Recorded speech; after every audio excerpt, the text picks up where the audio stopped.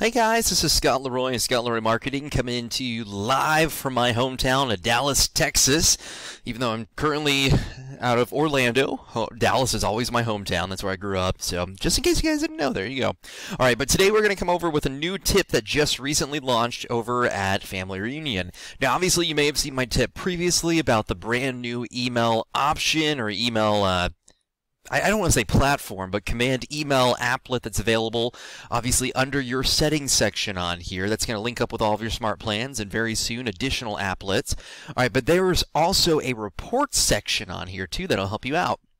Now, obviously, if you've gone through that previous tip, you'll know under the settings section you can actually change your name and your reply to email. So this is basically replacing MailJet that you had previously, and it's not your command email. Now you will receive 5,000 emails for free that you can utilize. So if you have a, a larger database than 5,000, right, there are options to actually upgrade at the end of the day starting at $10 a month. All right, so feel free to take a look at those additional items on there. Now, with that being said on here, though, you can actually pull reports based on those emails that you're sending out now. That is one of the biggest items that a lot of agents have always asked for is, hey, is there a way to actually see how well our smart plans are doing? All right, well, now you can. That's the best part about it. All right, so if you actually come under command and we go to the reports section on here, all right, now this is where you could previously see some of your reports inside Command. Obviously, you could see some of your opportunity reports. You could view your goals as well if you've actually added inside your goals for 2020. But now when we click on reports on here, there's a new tab. All right, brand new tab for emails. So I'm going to click on the emails option and we can actually see right on here, here's our monthly account usage. Now remember, you get 5,000 for free.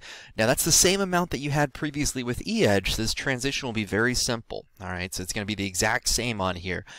Now, of course, if you need more than that, starting at the uh, lowest amount is $10 a month at 10,000 emails. You can upgrade to that. There's an upgrade option on here. All right, then there's even upgrades beyond that too if you happen to have a, a larger database or maybe you're on a team with a larger database.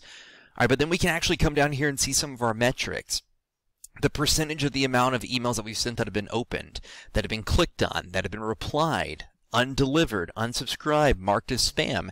This will help you out tremendously to ensure that the emails that you're sending out through that smart plan, now that you can actually go through and completely customize it, are up and running properly and that people are actually looking at them. That's one of the biggest things. They're looking at them. They're opening them. They're clicking on what you want them to click on through the call to action. All right. Maybe they've replied back to it on here. All right. So that'll help out tremendously to take a look at that. So I just want to give you a heads up of how simple it is to actually take a look at your monthly report on here. All right. This is going to make your life a lot easier. All right. And as you can see on here, here's the total number of emails sent by command email on your behalf. All right. So since I've already talked about it a couple times, I'm not going to make you go back to the other video on here. If you click on your name at the top right, you can go to settings. All right, then if you scroll down a little bit further on here, it's near the bottom. In fact, it almost might be at the exact bottom unless it has changed recently. All right, you'll actually be able to see your command email, and this is where you can actually update your name that'll pop up and the reply to email. Now, the email it's going to come out from is going to be a specific email for yourself as the agent.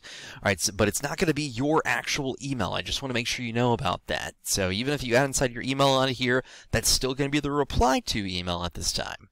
All right, and this is going to work fantastic for all of your smart plans. All right, but that is the easiest way to keep track of your smart plans, see what's working, what isn't working to give you a better idea on there too. So there you go. So that is your KW Command tip for the day.